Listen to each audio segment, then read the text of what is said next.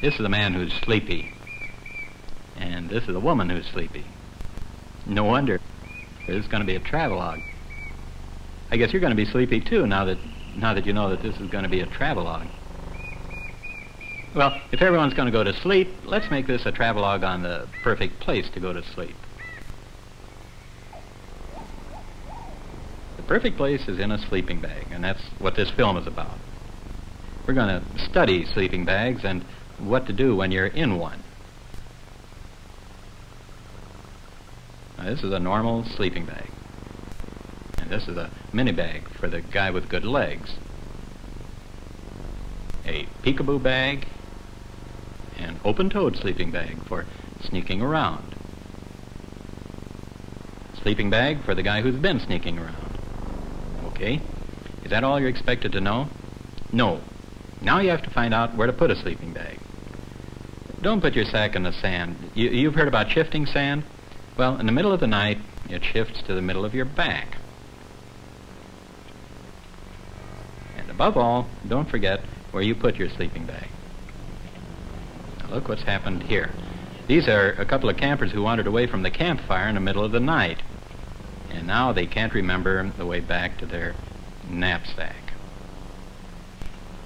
However, they're obeying the basic rule. When you're lost, close your eyes. Who knows, maybe you're not lost, maybe you're just watching a movie. Now are you ready to jump into the sack?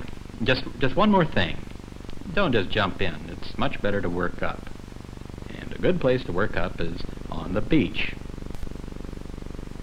Lie down and adjust your sunglasses and go to sleep.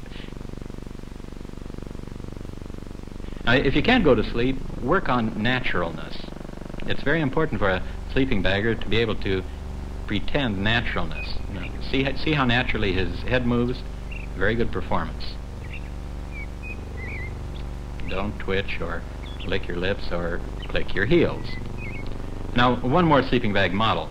This is the sports car type, a mobile stretcher that corners up to the refrigerator where mom is waiting. She's waiting with a lecture on diets, and a lecture on the morality of your friends, and a lecture on how you're lucky she saved some corned beef, even if you didn't tell her you were going to be hungry. Okay. Is there anything that we've learned so far? Probably just this. Someday, if you're lucky, you'll have a sleeping bag that you can trust. But right now, what we're going to do is watch a travelogue on the perfect place to put a sleeping bag. And here we are in California, in Yosemite Valley Sleeping Bag Park. Now this is where campers carpet the valley with sleeping bags and have community zip-ins. And now a rule from the old Indian scouts. Put your sleeping bag near water so that if you're thirsty in the middle of the night and have to get a drink, you won't have far to go. That way you won't have to stumble around at night bumping into strangers who don't know this basic sleeping bag principle. But don't put your sleeping bag in moving deep water because here the water is 1,500 feet deep and your sleeping bag will sink at 132 feet per second. The sheer cliff of Half Dome where you can really drop off to sleep. Some mountain climbing sleeping baggers have actually climbed the face of Half Dome because it's there. And if all of a sudden it isn't there, well, as they say in mountain climbing school, you're a dropout. And now, on with the search. Look at all the sleeping bag locations down there. If you unroll your sleeping bag near the edge, you'll find that this is the easy overnight way to get down to the bottom of the, of the Grand Canyon. It's an old-fashioned real leather live sleeping bag on which you can toss and turn. Or you can catch a few winks with Georgie White, who has a gigantic air mattress that she uses as a sort of floating motel. And she bounces down to Colorado singing lullabies to her passengers and rocking them to sleep.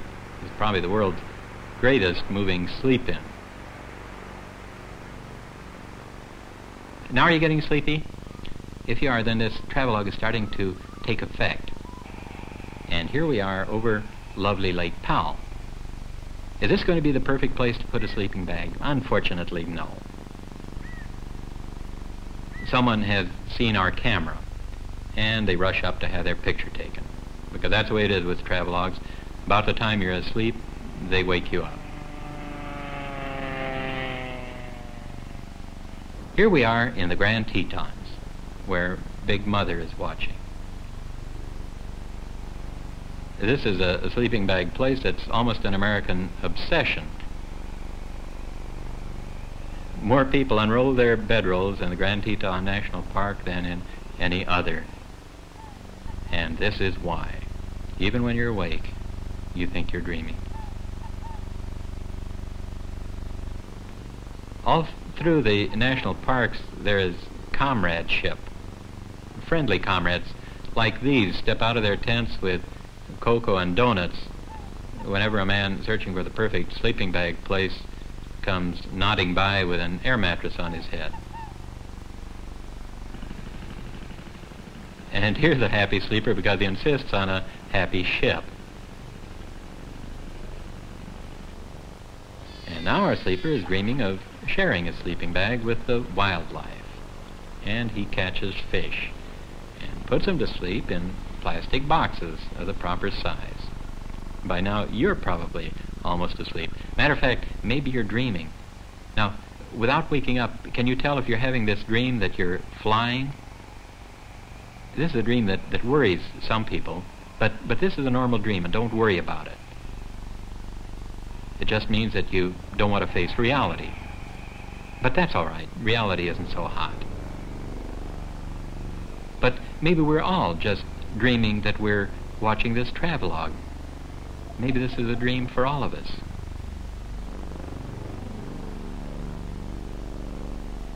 And now, have we found it? Is Glacier National Park the perfect place to plant a sleeping bag? There are sheep to count in case you like to count sheep when you're going to sleep. But the way to go to sleep is not to worry about going to sleep by counting sheep. The way to go to sleep is to pick the right place to have the kind of dream that you've always dreamed about. And if the dream that you've always dreamed about is dreaming that you're watching a, a travelogue of national parks, why, you're home free right now, this, this very minute, even if you're still wide awake. So here we're watching someone who has found the perfect place for his sleeping bag, because he wants to dream of islands and he doesn't even have to close his eyes. And now you know, if you want to dream of islands, get your sleeping bag on an island. If you want to dream of national parks, put your sleeping bag in the national parks. And if you want to dream of travelogues, go to sleep right now and dream that you're watching a travelogue.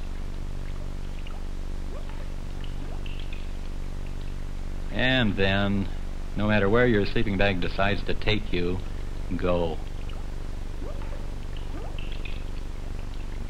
And pleasant dreams.